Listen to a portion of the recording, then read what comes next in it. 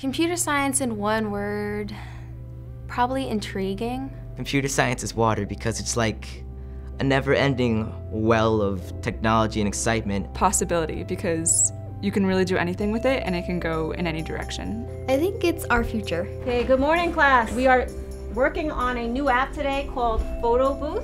And what I'd like you to do while I'm speaking is please log in. So one of you please start App Inventor right now. And we're working on the user interface. My name is Kelly Powers. I've been teaching computer science for 14 years. I've been at the AMSA Charter School for four years. All of our kids uh, take computer science starting in grade six all the way through grade 11, and they're required to take it. It's not an option. Oh, here we go. Yeah.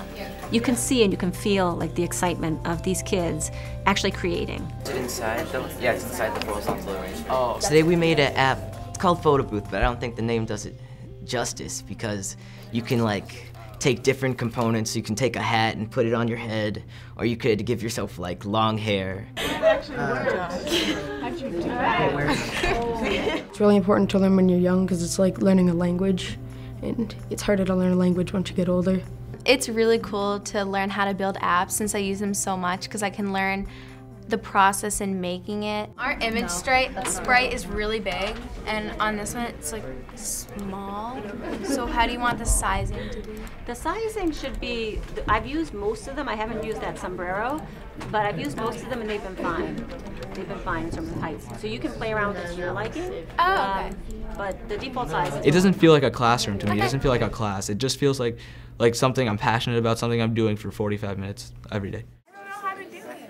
We're done. I always ask them to explain to me what you're trying to do. And they find out the solution on their own just by speaking it. Yeah, but there's a specific spot on the canvas. Talk to me about that. It's going. Oh, it's the image sprite. Yes, there you go. So you set the image sprite to, To? the list speaker element. Yes. Oh my You know this. You just have to talk it out. You It's got this it. One, Josh.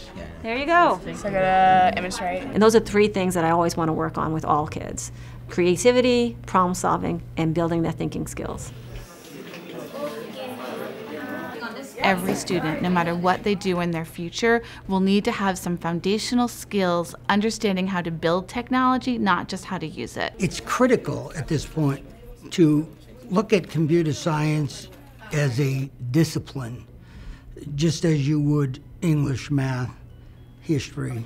There are a lot of kids who graduated from college over the last two years without jobs, and there's a lot of jobs that are going unfilled. So there's a problem here. It's the technical jobs, the highly skilled technical jobs that aren't getting filled. Even if I don't go directly into computer science, it's helpful to know about computers because we use them every day. When I tell them, you just made this, you just made a smartphone app, how many of your friends can do that? Ah, you're right, you know? Um, they start to realize, wow, I, I am pretty talented, and they are.